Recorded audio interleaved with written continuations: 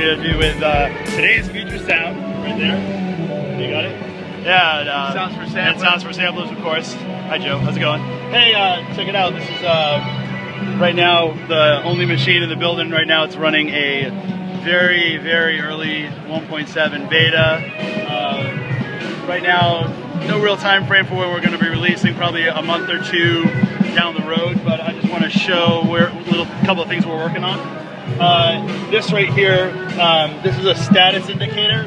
What that does is, as you play in a beat, it shows you your loop boundary.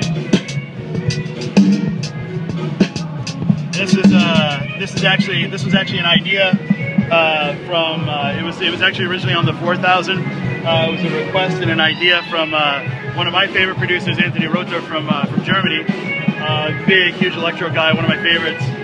Um, so we threw that, we got that in there for him, and for you guys too.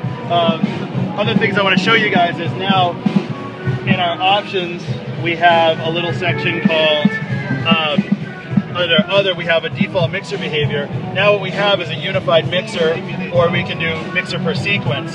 Now the original MPC workflow was every every sequence could have completely different mixes. You could have different different effects going to each different mix or whatever. But a lot of people wanted to have everything in one place. You know, you wanted you wanted to make sure that you know the track one is always my 808 kit, track two is always affected a certain way. So what you do now in the mixer is go over here. We now have these mixer scenes right here, 128 of them. So you can have you can have 128 of them, and what that does is that's a, a different scene, a different scene for each sequence. Um, now we've also got another again another work in progress. We've got these right here, volume indicators per track.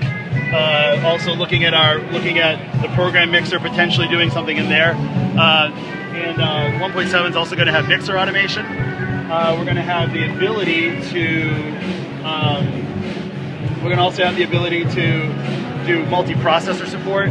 So, uh, for instance, you can have, you can assign how many, right now we're doing in the beta, to, you can do assign multi-processing threads. Um, that's more for development, so we can see uh, we can see uh, for beta testing where the problems are, what thread are happening, all that kind of thing. But uh, you're going to have multi-processor support, be able to take full advantage of your computer, and uh, also we're going to have AAX support, and uh, we're going to do effects automation, uh, and that'll all be in 1.7, and plus whatever else we can get out there. but yeah, we're you know still going strong, still got the same team, we're still cranking, and you know we're um, working on the features so uh, you guys will uh, have more to work with. So uh, yeah, stay tuned. Yeah, that's it right Cool. there. Well, thank you so much, Makai NAMM 2014. No problem. See you guys. Cheers.